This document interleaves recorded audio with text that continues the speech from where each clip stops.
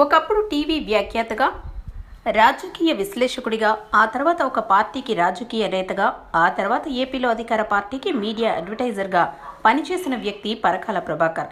కేంద్ర ప్రస్తుత ఆర్థిక శాఖ మంత్రి నిర్మలా సీతారామన్ భర్త. రెండు వేల తొమ్మిదిలో చిరంజీవి ప్రజారాజ్యం పార్టీ పెట్టినప్పుడు ఆయనకు వెన్నుదన్నుగా నిలిచారు. ఆ తర్వాత రెండు వేల పద్నాలుగులో అధికారంలో ఉన్న టీడీపీకి పరకాల ప్రభుత్వ మీడియా సలహాదారుగా పనిచేశారు. ఇదిలా ఉంటే మోదీ సర్కార్ రెండవసారి అధికారంలోకి వచ్చిన తర్వాత భార్య నిర్మలా సీతారామన్కు ఆర్థిక మంత్రి పదవి బాధ్యతలు ఇచ్చారు. ఇలాంటి పరిస్థితుల్లోనే ఇటీవల ఫైనాన్స్ డిపార్ట్మెంట్ టార్గెట్గా పరకాల కొన్ని విమర్శలు సంధించారు. అవి అప్పట్లో హాట్ టాపిక్ అయ్యాయి. పరకాల ఎందుకు అలా చేశారు అనేది పక్కన పెడితే ప్రస్తుతం ఆయన మహా న్యూస్ ఛానల్ బాధ్యతలు భుజానికెత్తుకున్నారు ఛానల్ ఏ విధంగా ముందుకు తీసుకువెళ్ళాలి అనే దానిపై తీవ్ర కసరత్తులు మొదలుపెట్టారు.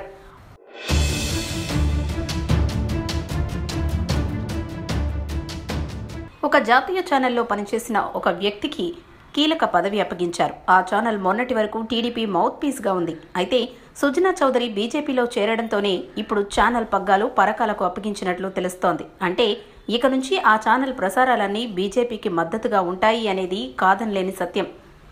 డిసెంబర్ ఒకటి నుంచి ఆ ఛానల్లో పరకాల మరింత యాక్టివ్గా పనిచేయబోతున్నారని టాక్. చాలా మార్పులు చేర్పులు చేసేందుకు ఇప్పటికే పరకాల సిద్ధమయ్యారు.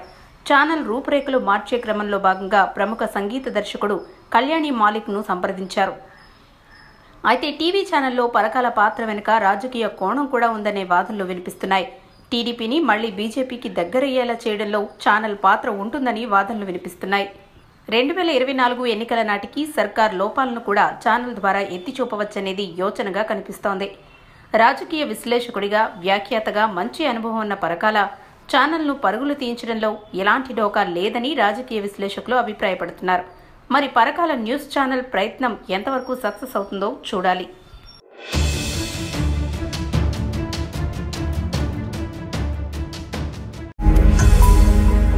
ఈ వీడియో గనక మీకు నచ్చినట్లయితే లైక్ చేయండి షేర్ చేయండి.